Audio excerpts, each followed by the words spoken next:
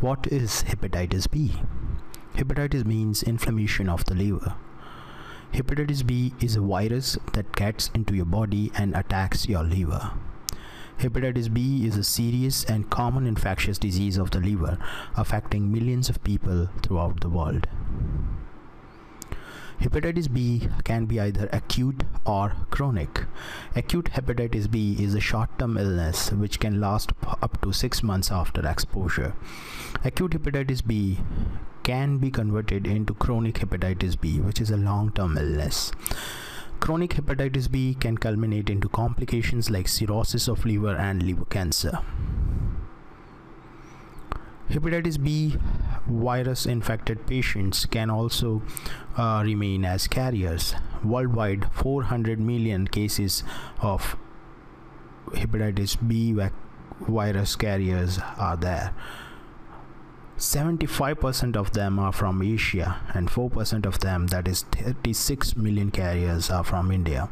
The carrier rate in hospital staff in India is around 10.87 percentage all healthcare institutions should ensure that healthcare personnel should receive training to recognize and report exposures, have system in place to facilitate reporting and post exposure assessment, and have prophylaxis readily accessible for timely administration. The knowledge and attitude of healthcare workers, particularly regarding hepatitis B and safety and efficacy of hepatitis B vaccine, have a major impact on their decision to accept or reject vaccination.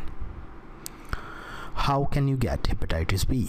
Hepatitis B can be transmitted by exposure to contaminated blood or body fluids, sharing needle and syringes or surgical instruments. It can also transmitted by tattooing.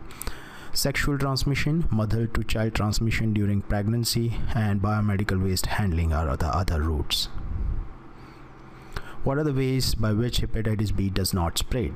Hepatitis B does not spread by hugging, kissing, touching, holding or shaking hands. It does not transmit by fecal route, water or food prepared by infected person or sharing or eating utensils. It does not transmit by coughing or sneezing or with breastfeeding. What is the average incubation period of hepatitis B? It is around 60 to 90 days, which can range from 6 weeks to 6 months. Does acute hepatitis B causes symptoms? Hepatitis B is a silent killer. Most people do not have any symptoms until it is too late. Although majority of adults develop symptoms from acute hepatitis B virus infection, many young children do not. Adults and children over the age of 5 years are more likely to have symptoms. 70% of adults will develop symptoms from the infection. What are the symptoms of acute hepatitis B? Early symptoms are same as cold and flu like fever, running nose and cough. Common symptoms include fatigue, loss of appetite, nausea, vomiting and abdominal pain. Jaundice, which is yellow color in skin or eyes, also manifested as dark urine or clay colored feces, joint pain or other symptoms. How will you know if you have hepatitis B? Talk to your physician. Since many people with hepatitis B do not have symptoms, doctor diagnose the disease by one or more blood tests. This test look for the presence of antibodies or antigens and can help determine whether you have acute or chronic infection, have recovered from infection, or you are immune to hepatitis B or you could benefit from vaccination. What are the various tests for hepatitis B diagnosis? First test is hepatitis B surface antigen to detect presence of infection. HBC IgM to detect the acute infection. HBe antigen to detect high infectivity of viral infections.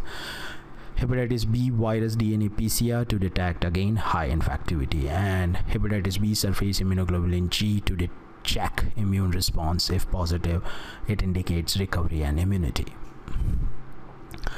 what are the preventive measures for hepatitis B? Hepatitis B vaccine is the best preventive measure. Other measures are screening of blood and blood components, infection control precautions, changing disposable gloves during blood collection, using new syringe each time before drawing blood. Which chemical disinfectant is to be used to clean the spillage of blood contaminated with hepatitis B virus? Sodium hypochlorite. Is it necessary for a health worker to get screened for hepatitis B? Yes. Is it necessary for a healthcare worker to receive hepatitis B vaccine? Yes. Can hepatitis B vaccine be given during pregnancy or lactation? Yes. Hepatitis B vaccine contains no live virus, so neither pregnancy nor lactation should be considered as a contraindication to vaccination of women. Can you get hepatitis B via vaccine? No. Hepatitis B vaccine is safe. What is the effectiveness of hepatitis B vaccine? Vaccine is more than 90% protective against hepatitis B infection. What is the hepatitis B vaccine schedule? It is given in three doses at 0, 1, and 6 months. How long does the protection from hepatitis B vaccine last? Immunological memory remains intact for more than 10 years among healthy vaccinated individuals who initiated full hepatitis B vaccination more than 6 months of age. The vaccine confers long-term protection against clinical illness and chronic hepatitis B virus infection.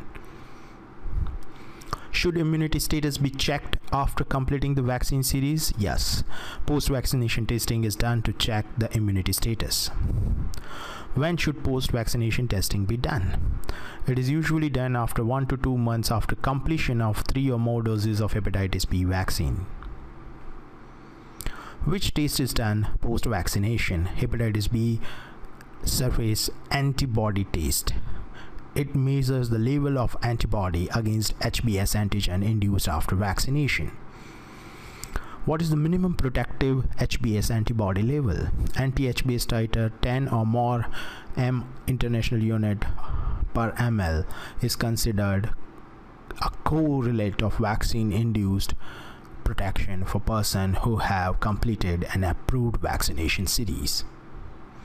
Are booster doses of hepatitis B vaccine necessary?